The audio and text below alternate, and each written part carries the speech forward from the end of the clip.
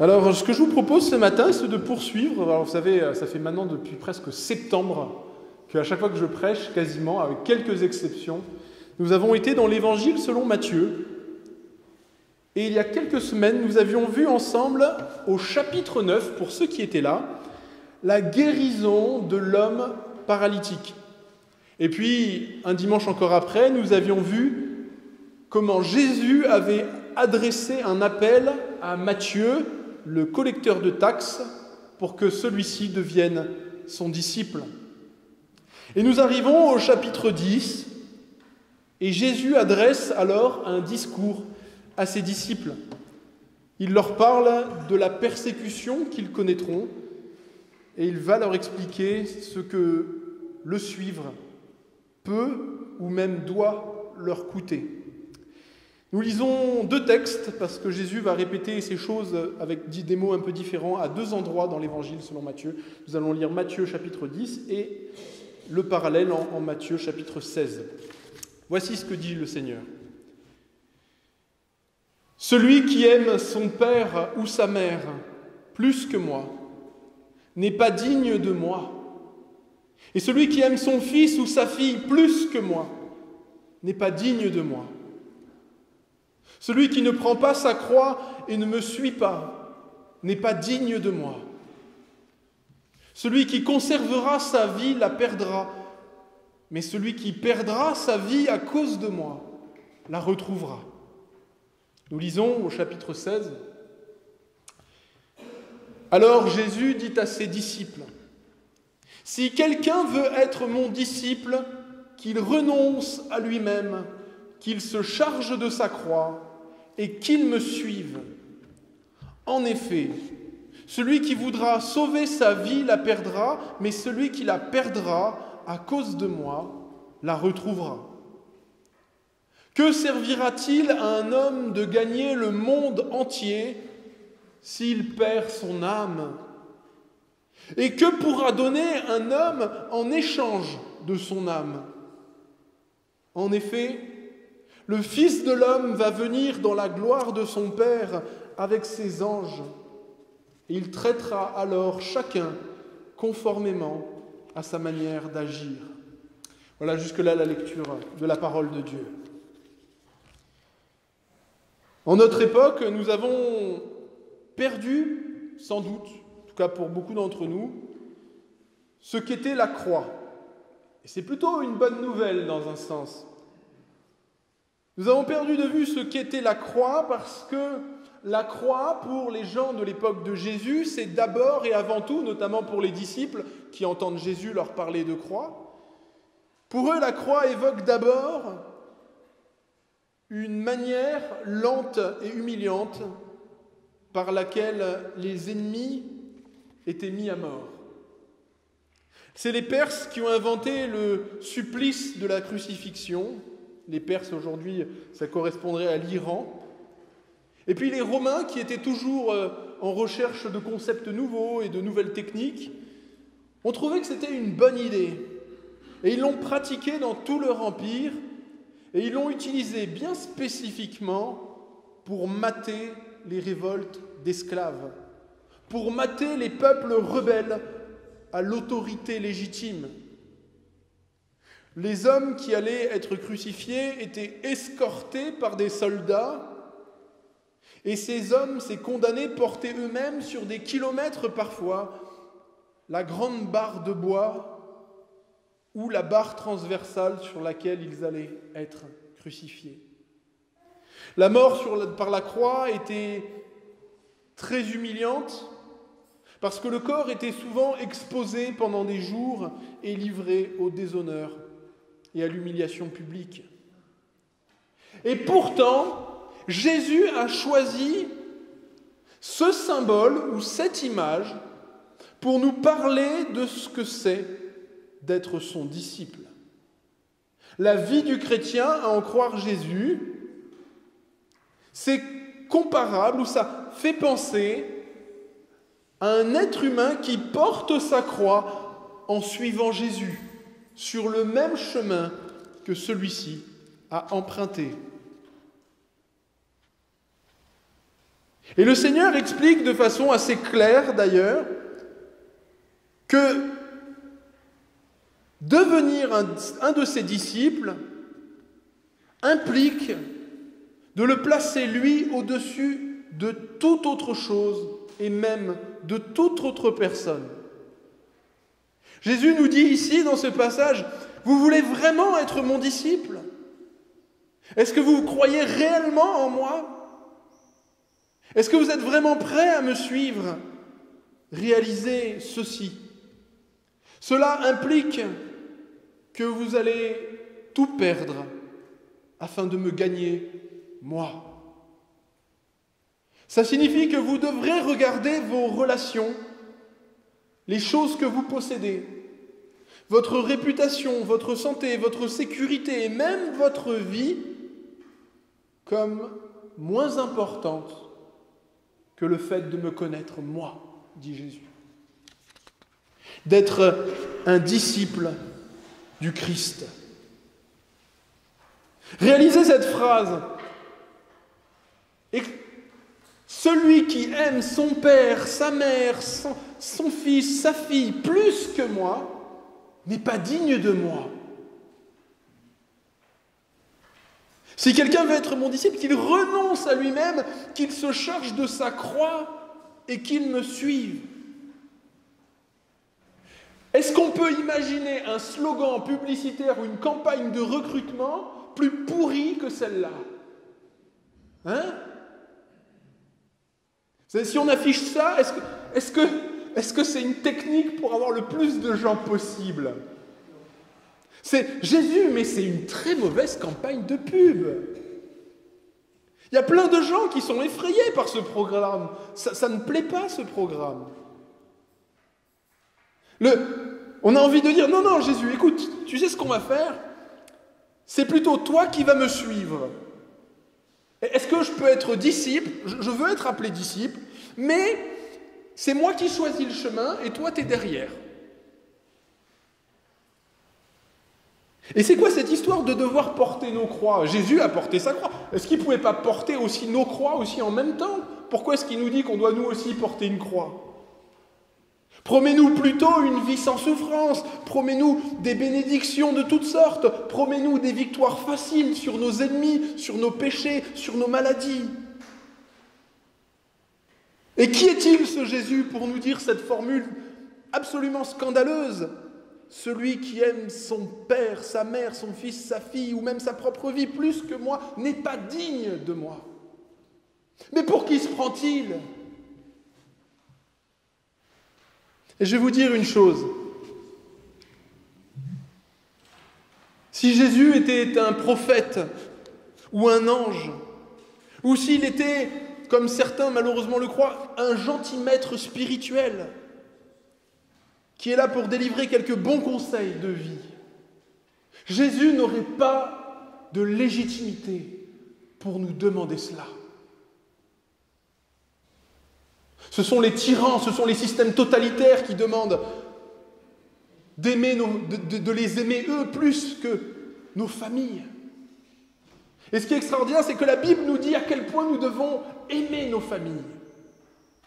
La Bible nous dit qu'on doit déjà prendre soin de nous, mais qu'on doit prendre soin de nos époux, qu'on doit prendre soin de nos enfants, que les enfants doivent prendre soin de leurs parents, qu'on est fait pour s'aimer. Mais le Seigneur nous dit, je suis digne d'être aimé plus que cela. Croire en moi, c'est comprendre que je suis même plus important que ta propre vie. Et vous savez, Jésus n'est pas un prophète, il n'est pas un ange, il n'est pas un gentil maître spirituel, il est ce qu'il est. Il est le Seigneur. Il est celui qui a créé le ciel et la terre, celui par qui tout a été créé et pour qui tout a été créé. Et la Bible nous dit qu'il est venu sur terre pour offrir la paix. Mais cette paix, ce n'est pas une paix comme le monde fait la paix, avec des bonnes intentions. La paix que Dieu offre au monde, c'est une reddition sans condition dans un monde malade qui va mourir et se détruire. Dieu nous dit la, la vie sur terre est difficile, elle est une souffrance pour tout le monde, pour les incroyants comme pour les croyants. Parce que ce monde est affecté de la séparation entre le monde et Dieu, son Créateur, qui est la source de la vie. Et le Seigneur est venu dans ce monde pour proposer la seule chose, quelque part, qui devrait vraiment nous intéresser, c'est la vie éternelle à ses côtés.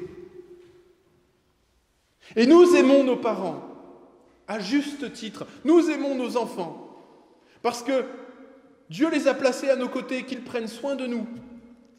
Nous aimons notre Père, notre Mère, ils nous ont donné la vie, ils nous aiment. En tout cas, s'ils étaient à peu près, s'ils ont agi correctement, si c'était... Mais sachez cela, Dieu notre Créateur nous aime encore plus. Et ce que nous devons à notre famille, ce que nous devons à nos proches, ce que nous devons peut-être à, notre pays ou à je ne sais quoi, ce n'est rien par rapport à ce que nous devons à notre Dieu. Et c'est pourquoi le Seigneur dit qu'il est digne d'une attention, d'une fidélité, d'un amour encore plus grand que celui que nous devons à ceux qui nous entourent et même à nous-mêmes. Et il arrive malheureusement, dans ce monde où la ligne de fracture traverse nos familles, elle traverse la société, elle traverse le monde. Il arrive que on se lève un matin et on dit Seigneur, je veux t'adorer, mais voilà que les personnes autour de nous disent non, il y en a assez. Ta vie nous appartient. Ton argent nous appartient. Ton temps nous appartient. Et tu ne peux rien donner à Dieu. Il y a malheureusement des moments où, ça peut arriver, où nos enfants, notre conjoint, notre frère, notre sœur, notre père, notre mère, et c'est arrivé souvent dans notre pays, hein, quand il y a eu la réforme, ça a traversé, divisé, détruit des familles, où certains ont dit, Choisis. Ce sera la fidélité à Jésus ou ta famille. Choisis. Et dans ces moments-là, le disciple de Jésus dit, Cela me détruit, cela me frappe, cela me fait souffrir. je choisis d'être fidèle à Jésus. Et cela, voyez-vous, c'est un chemin de croix. C'est un chemin de croix dans lequel tout chrétien est appelé à marcher. Il peut en coûter de suivre Jésus.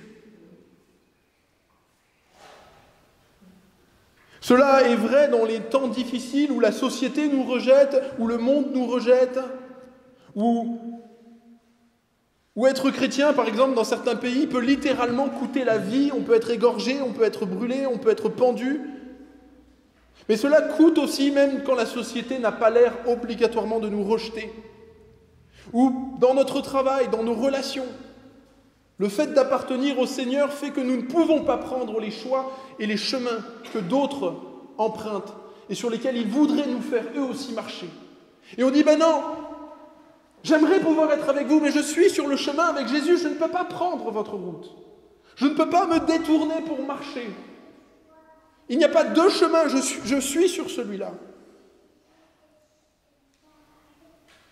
Et c'est toujours un combat, toujours une lutte, c'est lourd, ça pèse. Mais nous avons ce réconfort extraordinaire. C'est que le chemin sur lequel nous marchons, Jésus l'a emprunté avant nous. Lui, il l'a emprunté de façon parfaite.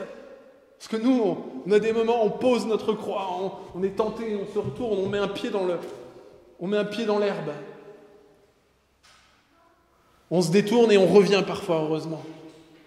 Mais Jésus, lui, il a marché le chemin parfait parce qu'il fallait une obéissance parfaite devant Dieu pour être accepté.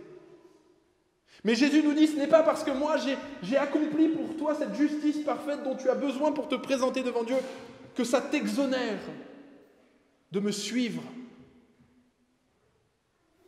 Tu dois me suivre. Il n'y a pas d'autre chemin. Croire en moi, c'est être fidèle à qui je suis. Croire en moi, c'est réaliser qui je suis vraiment et m'obéir. C'est entrer non pas dans ta volonté, mais la mienne. De même que Jésus, dans son corps, lui qui était Dieu, a choisi d'obéir à la volonté du Père et non pas de son corps physique et de ses aspirations physiques qui étaient légitimes, mais qui n'étaient pas la volonté de Dieu le Père. Que ta volonté soit faite et non la mienne. S'il est possible que cette coupe s'éloigne de moi, qu'elle s'éloigne, mais sinon que ta volonté soit faite. Un des dangers qui menace à chaque génération l'Église, c'est cette méprise totale à la fois sur qui est Jésus et sur qu'est-ce que le message de la foi chrétienne. Il y a toujours la tentation à chaque fois de, de dire à Jésus, toi suis-moi. Non, pas moi te suivre, toi, tu me suis. Viens Jésus, viens dans, ma volonté, viens dans mes projets. Vous voulez pour savoir pourquoi il y a si peu de, chrétiens dans notre époque? Parce que l'Église a fait cette erreur, je crois, il y a un siècle ou deux siècles, peut-être un peu plus. En tout cas, c'est une erreur qui a pris corps en Europe. C'est cette réduction de la foi chrétienne. La foi chrétienne, il a été attendu qu'elle soit au service des désirs et des attentes de la société. On a dit l'Église, elle doit être là pour encourager les jeunes hommes à la, bataille. Puis vient des problèmes écologiques et on dit l'Église doit être verte. Alors c'est bien, hein, on trie nos déchets, hein mais bon, c'est pas ce qu'on prêche tous les dimanches. Il faut une église plus inclusive, il faut une église plus ceci, une église plus cela. Et toutes ces attentes de, de, faire que le Christ vienne nous servir dans nos désirs et nos attentes collectives, c'est également le cas dans les attentes et les désirs individuels. Jésus doit nous accorder la prospérité matérielle. J'attends de lui la santé. Je veux qu'il m'aide à me développer d'une façon qui fait que je serai une meilleure version de moi-même. Et voilà ce qui s'est produit. C'est que on dit à Jésus viens suis-moi et on marche sur notre chemin et on se retourne et on dit hé, il n'est pas là. Il n'est plus là. Il m'a abandonné. Et si la foi chrétienne, pour beaucoup, ne semble pas aider à remplir les objectifs de nos vies individuelles ou de notre société, la foi chrétienne et le Christ lui-même sont mis de côté, jugés inutiles, superflus, insignifiants. Et les gens disent, tout ça n'est-il pas des mythes? Jésus n'a aucun pouvoir, aucune puissance. Regardez mes problèmes. Il ne les a pas changés. J'ai toujours des cancers, toujours des maladies, toujours des problèmes dans notre société. Mais je vous dis ceci, Jésus n'est pas venu sur terre pour suivre notre chemin. Il est venu, il nous a rejoints, il a offert son sang pour nous racheter et nous appeler à marcher sur le sien, sur son chemin. Et le grand drame, c'est que, ultimement, ce que nous recherchons tous, c'est le bonheur. Oui, nous recherchons le bonheur jusqu'à l'homme qui va se pendre. Lui aussi recherche le bonheur. Mais Jésus nous impose d'abord ceci. Fils, fille, donne-moi ton cœur, donne-moi ta vie. Il y a quelques semaines, Jean-Marc a prêché sur ce texte extraordinaire du livre de l'Apocalypse où encore et encore il est répété, l'agneau, c'est-à-dire Jésus, est digne, digne de recevoir la louange, la gloire, l'obéissance et tous ses attributs. Et si Jésus est venu pour marcher sur un chemin difficile, un chemin fait de souffrance et d'obéissance et d'abnégation, si le Christ, le Seigneur, nous a donné sa vie pour nous, lui qui est l'amour, nous aussi, nous devons l'imiter.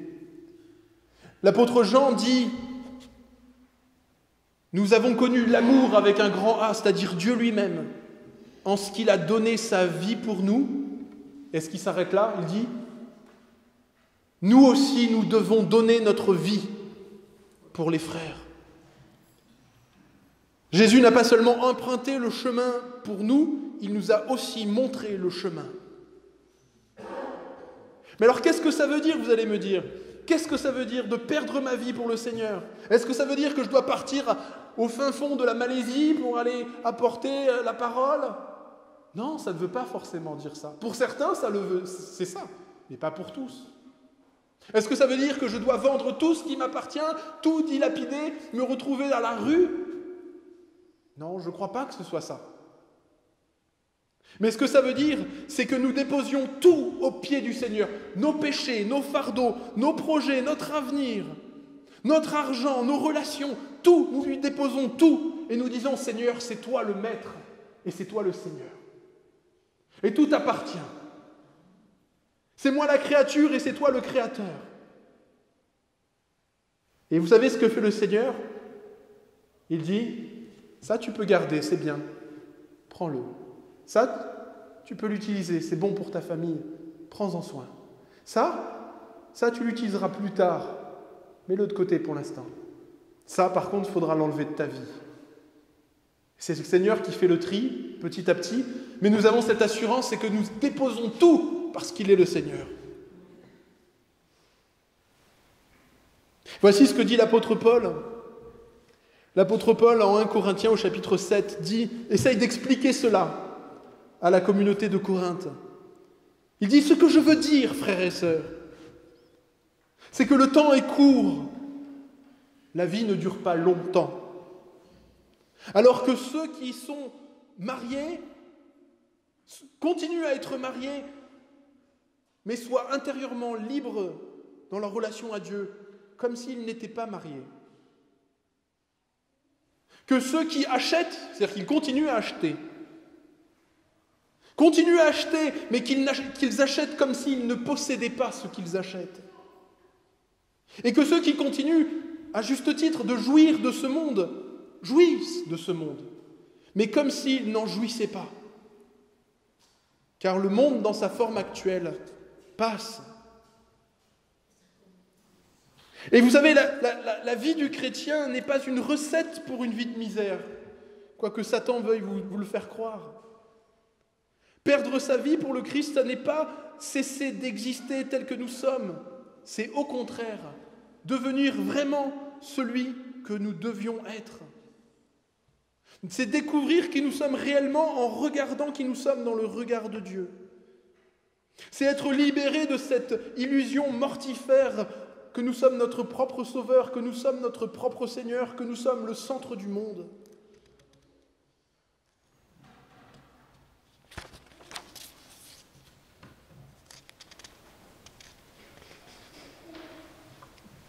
Et Dieu multiplie notre joie, il multiplie notre paix, il multiplie notre vie jusque dans la vie éternelle.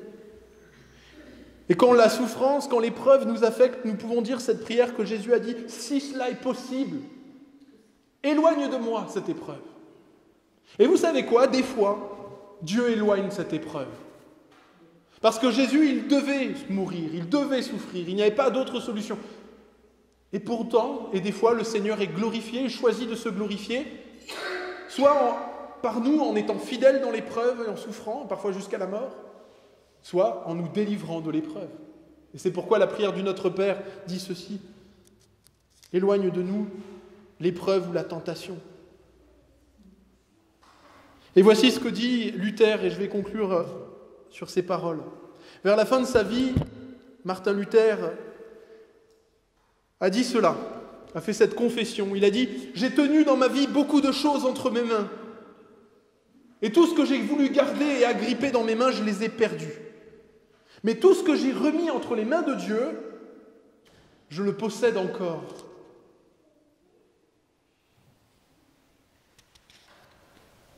Je vous le dis, il n'est pas fou, mais il est sage. Celui qui confie entre les mains du Seigneur cette vie qu'il ne pourra pas de toute façon conserver, pour obtenir en échange la vie éternelle que jamais il ne pourra perdre. Le monde pense et dit, attendez, encore un peu de temps, encore un peu de temps. J'ai encore tellement de choses à expérimenter, tellement de choses où je veux être encore mon propre maître. Je veux m'agripper à cette vie comme si c'était la seule chose que j'ai. Mais Jésus nous dit, passe-la moi. Tu vas la perdre de toute façon. Et si tu le veux vraiment et que tu aimes la vie, que tu veux vivre, donne-la moi. Je vais te la nettoyer et te la multiplier comme j'ai multiplié le pain. Alors, euh, pour conclure, juste euh, peut-être deux ou trois questions. La première question, c'est est-ce qu'à l'heure actuelle, vous avez conscience que tout ce que vous êtes, tout ce que vous avez appartient au Seigneur, si vous êtes chrétien? C'est le programme. Et je n'ai pas dit il appartient à l'Église, j'ai dit il appartient au Seigneur. Pas tout à fait exact, la même chose. Et si c'est le cas, comment administrez-vous en bon intendant tout ce que le Seigneur vous a donné? Le temps, la santé, parfois les biens matériels? Est-ce que vous avez conscience que tout cela est au service de Dieu, de sa gloire? Des différentes missions pour lesquelles vous êtes sur terre? Et enfin, la dernière question à méditer. À l'heure actuelle, pouvez-vous dire, je suis prêt à porter la croix? C'est-à-dire, ma foi est-elle publique? Suis-je prêt à être livré en pâture, à tout perdre? À perdre même, malheureusement, s'il le fallait, et que Dieu fasse que cela n'arrive jamais? À perdre mon mari, mes enfants, ma vie, si cela signifie être fidèle au Seigneur jusqu'au bout À ces questions, il n'est pas évident de répondre, mais nous pouvons prier, et c'est ce que je vous invite à faire maintenant, pour que le Seigneur fasse le travail dans nos cœurs et que nous puissions toujours le suivre, réaliser qui il est vraiment. Prions. Seigneur notre Dieu, Seigneur notre Sauveur. Tout est à toi. C'est toi le Maître, et tu dis dans ta parole que quiconque invoquera le nom du Seigneur sera sauvé. Et Seigneur, c'est ce que nous voulons convoquer, et c'est ce que nous voulons invoquer, c'est toi, et dire tu es notre Seigneur. Et pas en parole seulement, nous voulons, Seigneur, que, que ce le soit aussi vraiment encore et toujours plus dans les actes. Nous voulons te suivre, tu nous as montré le chemin lorsque tu as marché comme un homme sur la terre pour notre salut. Ô Seigneur, aide-nous à ne arrêter de vivre comme si nous étions le centre du monde, comme si, comme si nous étions les chefs, les maîtres, les seigneurs de notre vie. Accorde-nous de, de posséder toutes choses comme si nous ne les possédions pas, à aimer les gens qui sont autour de nous, comme s'il ne nous appartenait pas. C'est toi qui es le seul possesseur de tout ce que nous avons. Glorifie-toi dans nos vies pour la gloire du Christ et pour la gloire de son nom jusqu'à son retour. Amen.